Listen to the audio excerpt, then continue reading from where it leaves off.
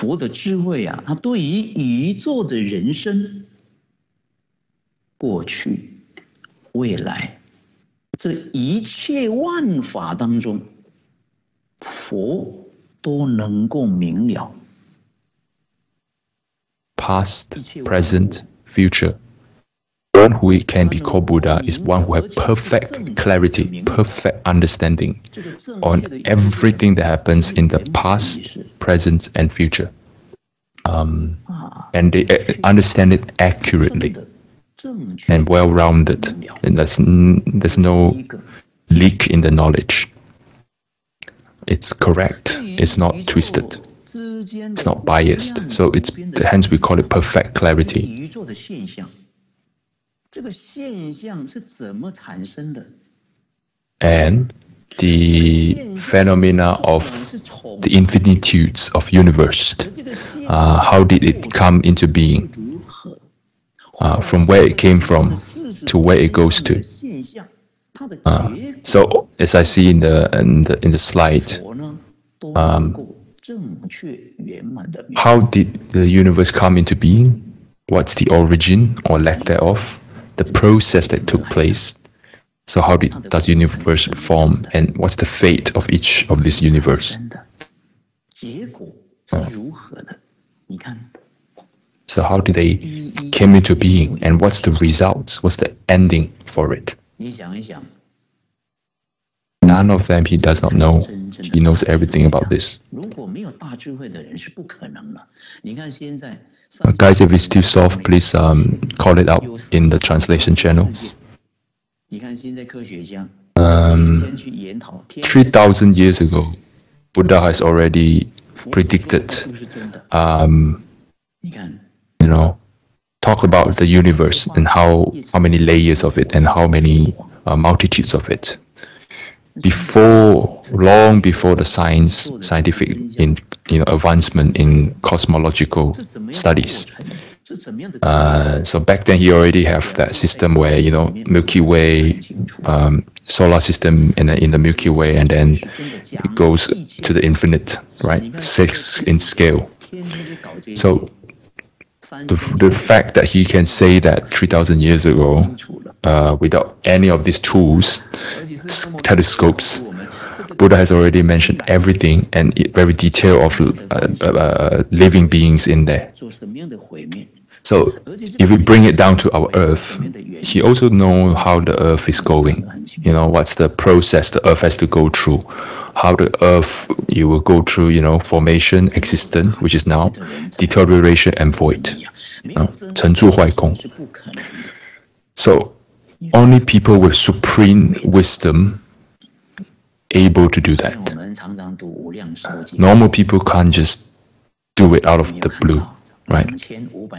Just like when uh, us, uh, some of us read the Infinite Sutra uh, 2,500 years ago or 3,000 years ago. Uh, so Buddha already said in the sutra, in this era, foods are no longer safe, full of chemicals basically. Uh, they call it the food are filled with poisons that harmful to your health. Uh, and all the uh, soil are infertile, so it's hard to get healthy food. Uh, and then they talk about obviously this extend to polluted air, polluted land, polluted sound. Um, and all this has been mentioned in the sutra that was recorded 3,000 years ago. So from these hard evidence, when we can see that um, without supreme wisdom, without a person, a person without a full wisdom, full picture of the whole thing, they can't even able to fathom this kind of uh, thing, let alone say it out in a very consistent and structured manner. So the point of saying this is to complete our life, right? The first thing is but it goes beyond that. It goes beyond just having a happy life. It's also a, a full understanding of the whole cause and effect, the whole cycles, the whole um, um, particles or, or, elements that cause this to happen and what's the result of it. So, this is the greatness of Buddha. This is where the Buddha greatness lies in. Mm. He does not have any. Um, uh, biased, error, delusions. Only person who own who has attained this level of understanding, knowing, is called a Buddha. So there are many wisdom, but if you put the wisdom to the highest standard, to the, the most um, strictest standards, then it's called Buddha. So no bias, no error, no delusions. So this is a, something like what other religion called um, their deities or deity, the gods, as all-knowing, omnipotent present. But this is actually inherent in us, in all of us. It's not just one deity. Everyone has the ability. Uh, all of us has the ability. Uh, but uh, we, that means we can and has the right and potential to know to be that level of all-knowing, omnipresent. 所以这个简单啊，来为大家说明释迦牟尼 Just 佛 a 的智 this is just a brief overview on Buddha and his 不 wisdom, 一样的。 on his 把 wisdom. 这个看更广、更深， We will go in depth in why can't we reach that 佛 level 陀的智慧，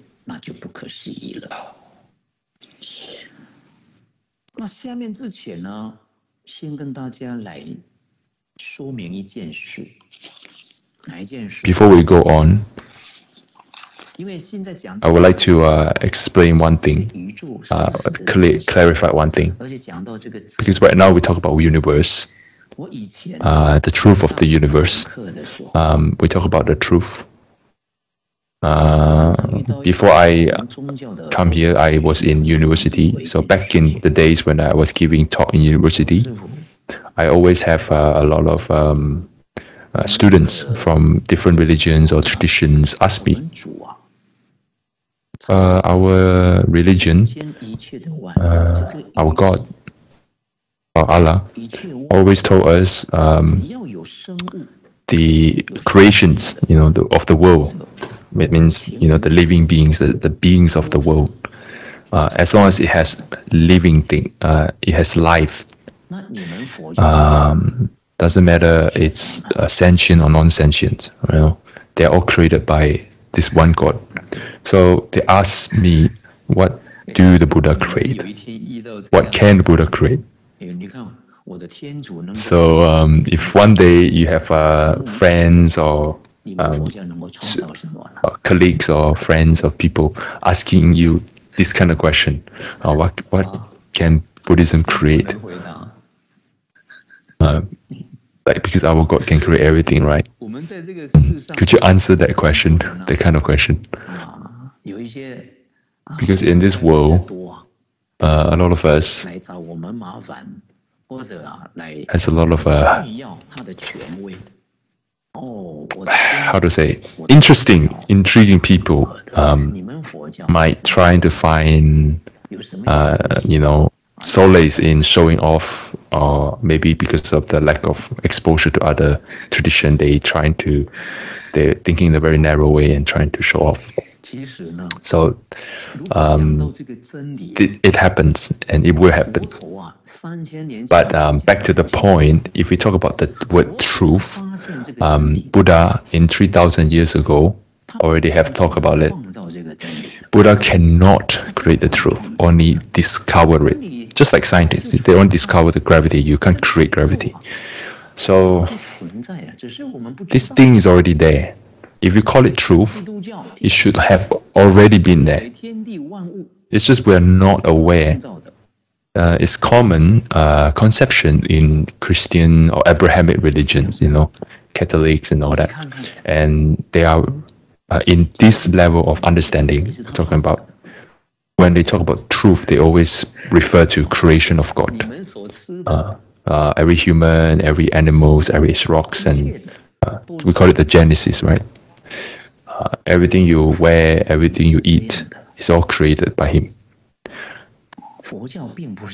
But if we talk, if we go to the Buddhist tradition teaching, we do not talk, we do not um, say creation, because truth, it's already there. You don't need to create a truth. If it's created, there is no longer truth. So the problem is the person who observe it. It's not the truth itself. It's the person who observe the truth is not uh, fully aware of it. Uh, the universe has always been like that, has always been working in this way, and we are not aware. We are, we are living in it. We many generations, many lives but we're not aware. 讲得很清 of 楚， it 在大乘经里面讲的非常的清楚，这个真理是不能创造的。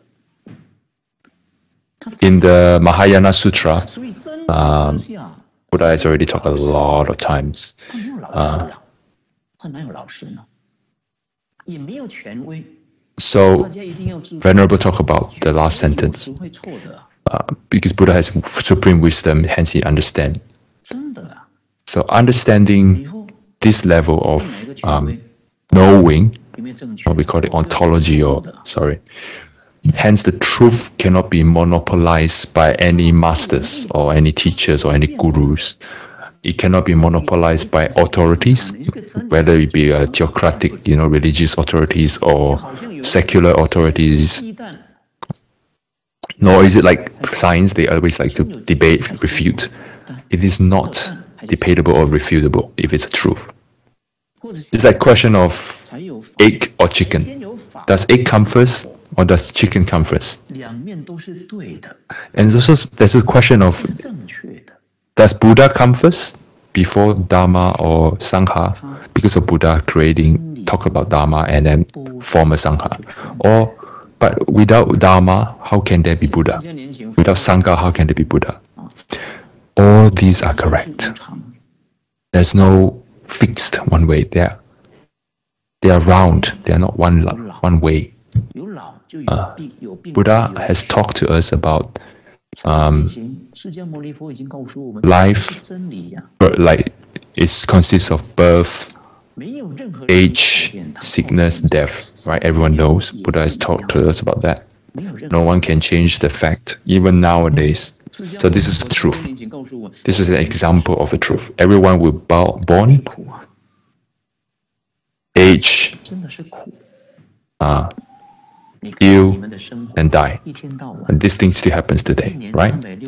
And then Buddha has taught us that life in this year it consists mostly of sufferings. Very few, very, very few pleasures, very few happies. If we talk about the ratio, look at us in 365 days. Is any of these days, um, how to say, which portion is more? Suffering is more or happiness is more? The, this thing is, already, is ongoing uh, forever, you know, as long as we're here. It's not created or create. There's no need to think about who created this or who um, and us being created from where. The point is, this thing already ongoing. We need to be aware of it, and how do we get out of it? So a lot of people they say, "Oh, God created the world," but we can we all. I mean, it's very common. People might say, "Well, if God can create the world, why can't they create something that are all equal?" everyone has the same resource, everyone has the same uh, access to resources. Uh, why are there bad people? Why are there murders? Why are there bad bad guys?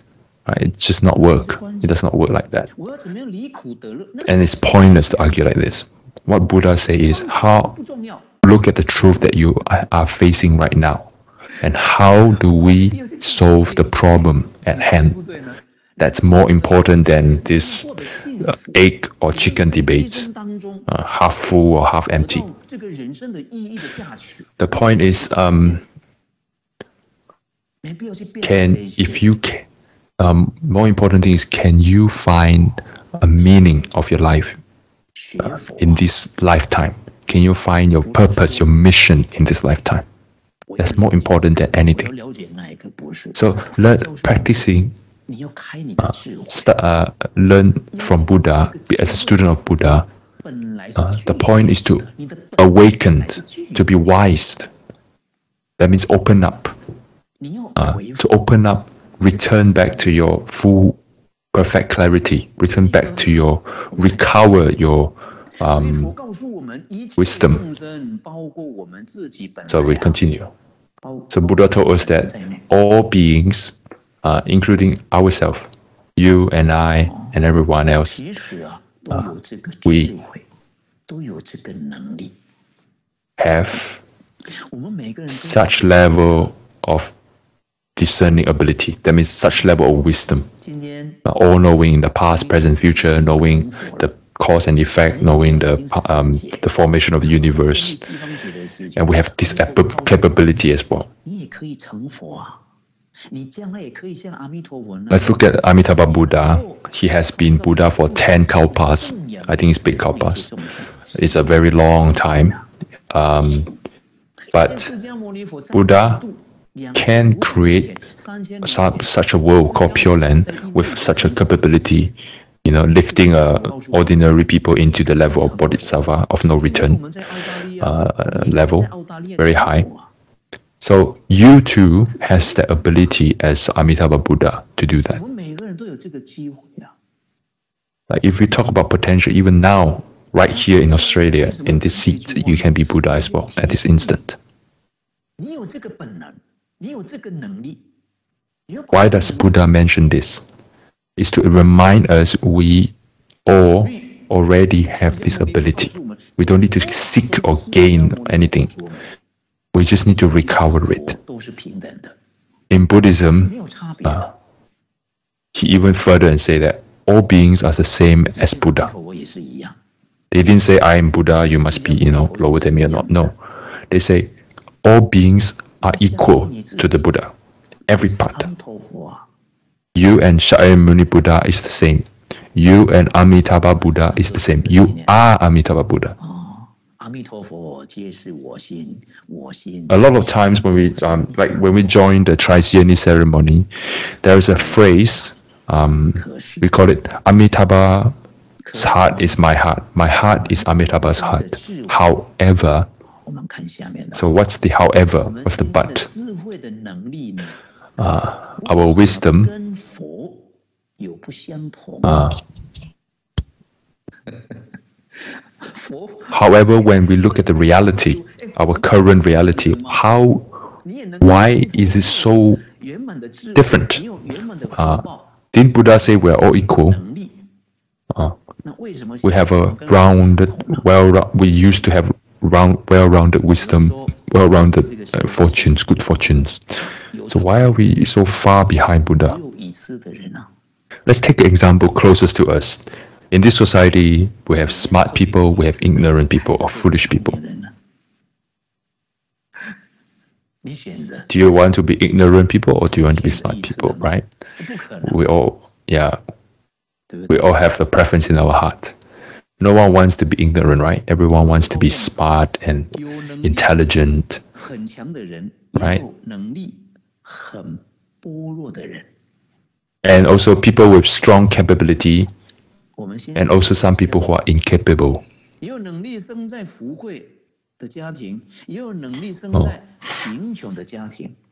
Also, some people who born to a wealthy uh, family, or some people who become impoverished. So these are all the very real equality that happens in our face. Some people born when they born, they can uh, immediately enjoy luxuries of life akin to an emperor. Some people born into this impoverished uh, neighborhood, uh, they, they're sick, uh, their life is hard. Uh, like example, some people born directly to Australia. Uh, when they come out, they have everything prepared for them. Everything is uh, you know, good Some people born into a war country, a war-torn country. 有人很聪明，有人很笨。 Some people, if they say if they want something, they just need to utter it and they got 有 it. 人长得很矮， Some people, no matter how hard they work, they can't reach that level. 有区别这么大。 Some people has born born with tall features, good-looking features. Some people were not. 现象是怎么产 So 生的 what is the cause of these differences? Uh, so how did these different come about? Why does this um, uh, gap so big? A lot of times we might even, you know, grudge, you know, whine to our parents. Oh, you know, look at my neighbors. They have the, you know, neighbor kid. They have the toys. They have, uh, they have the nice looking clothings compared to me. Uh, there's a lot of um, right? This is quite common compare with others and we felt this um, inequality. Some people also have been in the business for 10 years, 20 years, and they worked so hard and they still can't get a financial security. Some people born to it. what they want, they have immediately. They can just spend millions and millions without problem. So this is what so Buddha told us why is this difference? Because we lost our capability. We lost our, um, we temporarily lost our wisdom. Uh,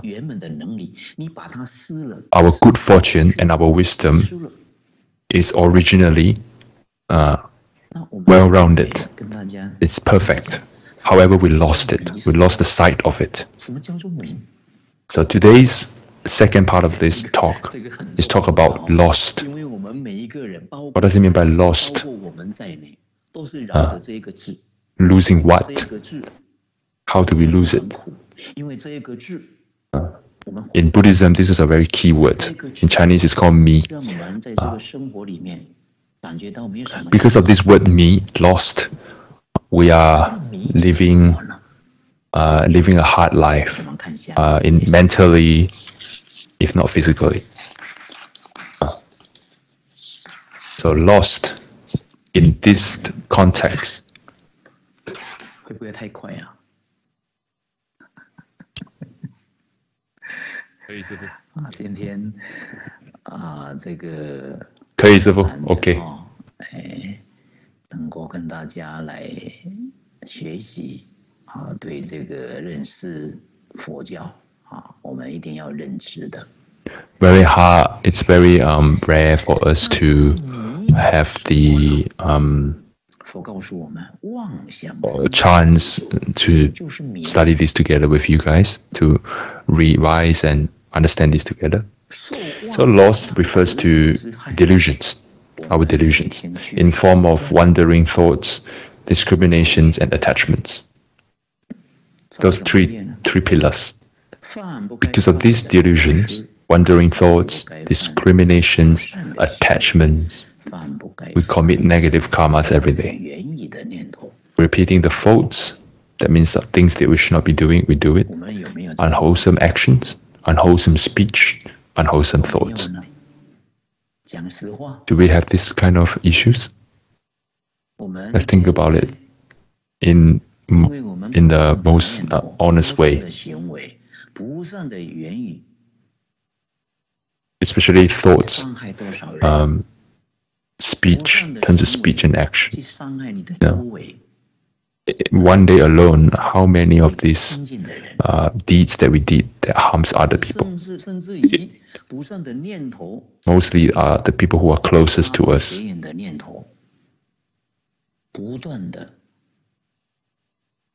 Or for thoughts, right? Um, for example, uh, hatred, lust, uh, or 我们每 greed. 个人都有这样的毛病。 Because of this, it leads to all these actions, right? 今 That 天不学佛行吗 you？can see nowadays that harms the world, harms the earth, pollutes the world, right? 所以从这个地方，佛要提醒我们，你要反省，你要改 From here, 真的，只有经过 something very 改过 close to- 反省， we can see every day. 回光返照， Uh, this is why Buddha keeps saying we need to start, stop, put a stop to these uh, unwholesome deeds, wrong actions. We need to, uh, we call it repent, or more like reflect and repent. Without reflecting on our faults and change it, we can't improve and we can't return back to the to the wisdom that we used to have. For example, the deeds that you do are not good, uh, no, beneficial to others. This effect of this action will harm you in the back. For example, your remark might be too sneery. Uh, sneery remark might hurt some people. In future, some people will do the same back to you in different form. So that's why we all have infinite level amount of karma creditor because of this three stuff. We do it wrong, we say something wrong, and we think something wrong. So the current homework is to uh, uh, break through the uh, cause of our suffering and miseries. If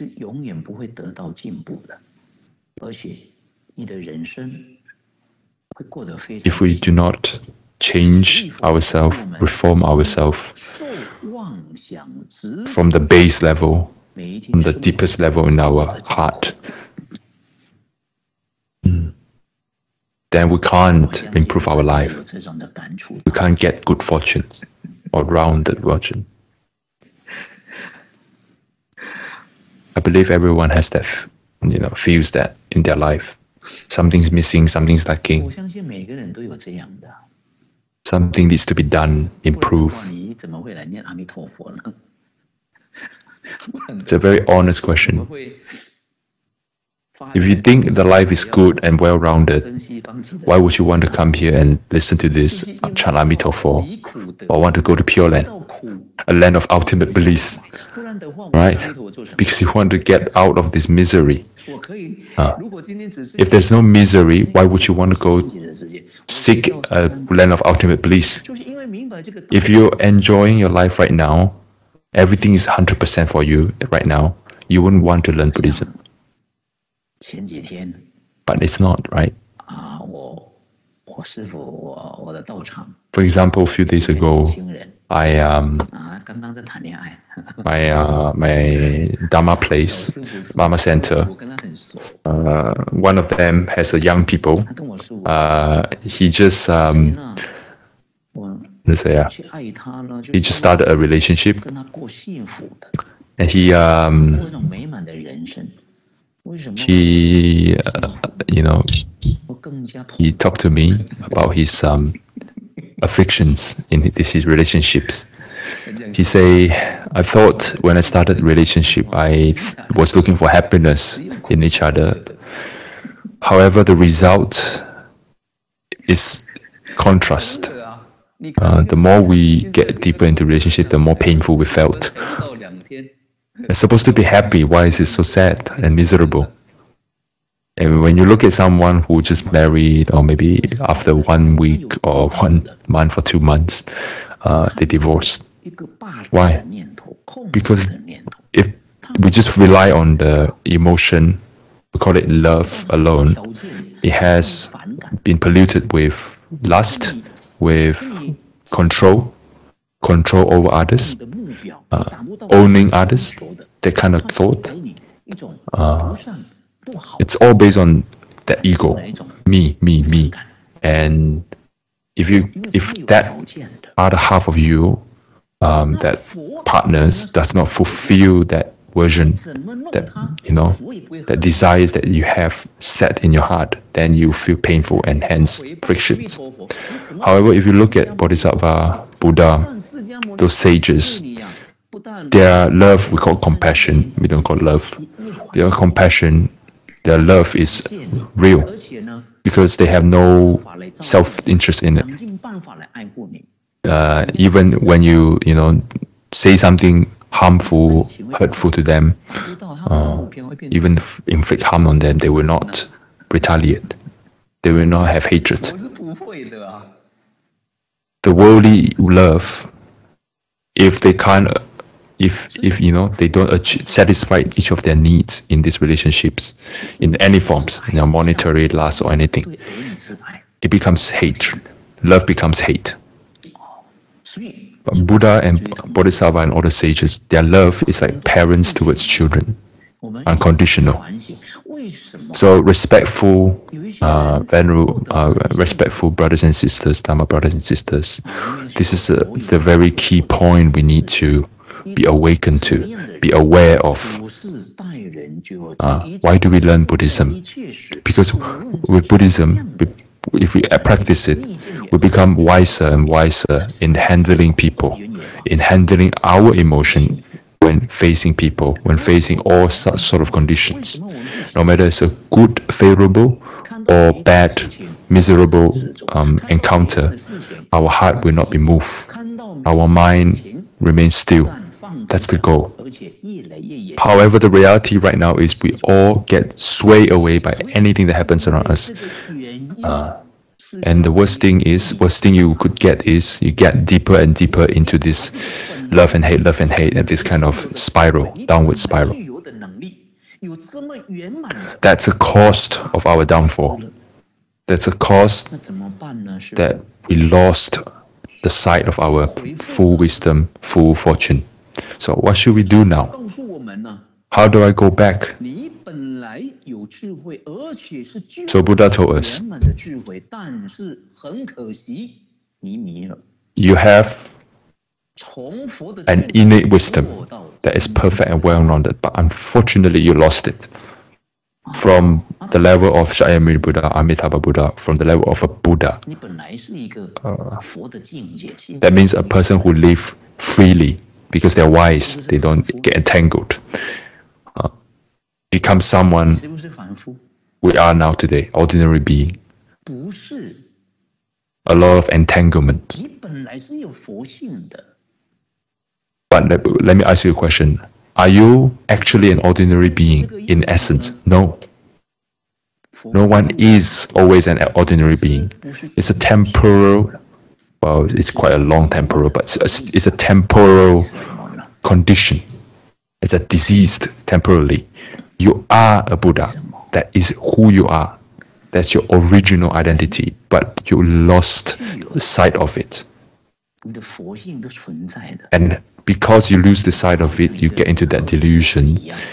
It becomes an ordinary being, bounded by all things for example, someone who is drunk, right? When they drunk, they lost rational thoughts, right? They act irrationally. But can we dictate that that person in that drunken state is him or her? In essence, no. When they wake up, they become back to their original self, the, or, the normal self right? So same for us. So going back to this topic of lost, we lost it because of the delusion of wandering thoughts, discriminations, and attachments. If we break through these three layers, uh, these three obstacles towards our uh, back to our home, you know, back to our enlightenment, back to our Buddha self, then we become Buddha. That means we are free. We're truly free. A freedom, right? This is the real freedom. And the key is to let go. If we can let go of our attachment in everything. yes, it sounds, it's a sound path to do to walk, but it's so hard. I chant Amitabha every day, or I meditate every day, or whatever um, homework I did. I still have a lot of affliction, right? I chant Amitabha, I pray to Buddha, uh, I read the sutra, I listen to the Dharma, but yet my affliction remains heavy. My delusion remains deep. What can I do? In fact, the benefit is subtle.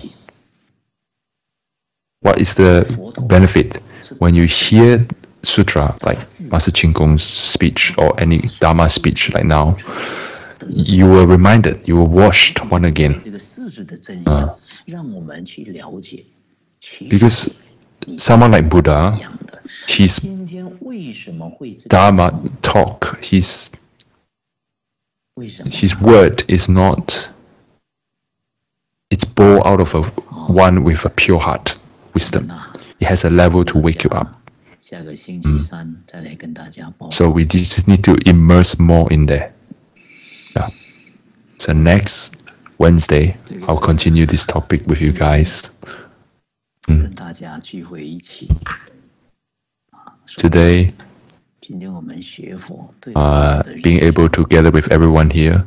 First, uh, when I learn Amitofo, I mean, when we study Buddhism, learn Buddhism, uh, the core goal of learning Buddhism is to learn about ourselves, to learn more about ourselves, to know more about ourselves. Uh, and one of them is why am I learning Buddhism? in this environment. In this environment, what can Buddhism brings to the table, you know, to help me to go through this life. And now we talk about lost. So how do we found? Lost and found, right? How do we find it back? What is the method? So what's the cause of the loss and how do we find it back? What's the method?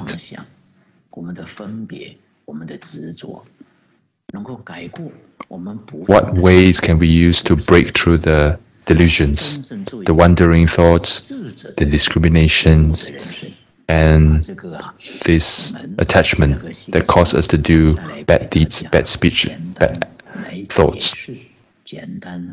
How do we transform it around, turn it around? Next week, we will talk in depth on this how do we find it back? Because now it's quite late. It's 9.30. Uh, usually we um, use one hour to give a, a brief talk. How do we uh, recognize Buddhism?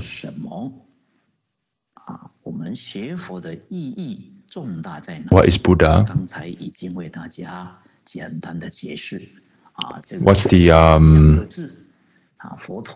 um, meaning of Buddha. So, why do we not translate Buddhism? That's what we learned today. Um, what's the meaning of Buddha and how do we find it back our Buddha nature?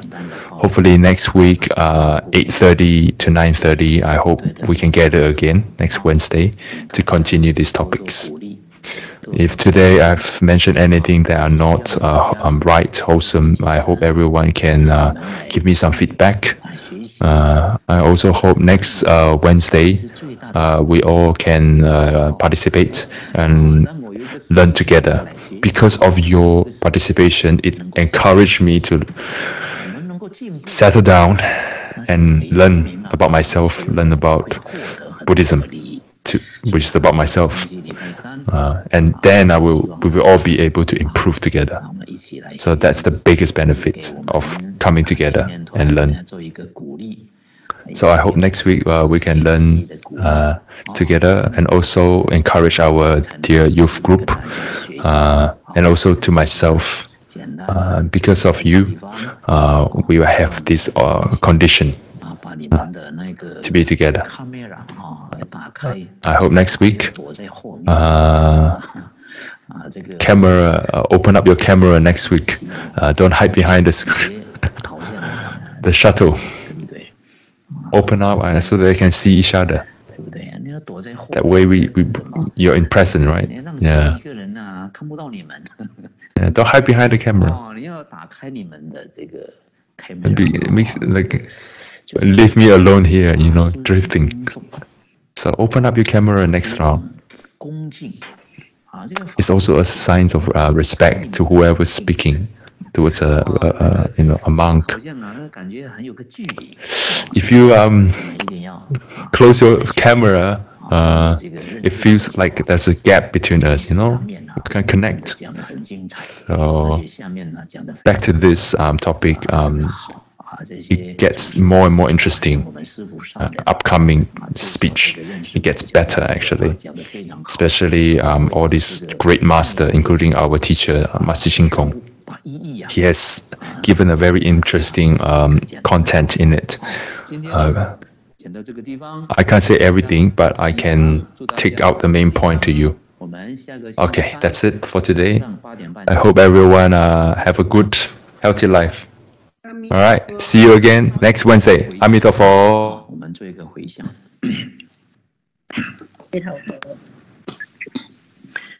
请合掌。愿以此功德，回向累劫冤亲债主，往生西方极乐净土，回向虚空法界一切众生，上报四重恩，下济三途苦。若有见闻者，悉发菩提心。见此一报身，同生极乐国。谢谢大家，阿弥陀佛。晚安，晚安，晚安啊！阿弥陀佛。大众请起下个星期三见哈，见哈，下个星期三，阿弥陀佛。阿弥陀佛。阿弥陀佛。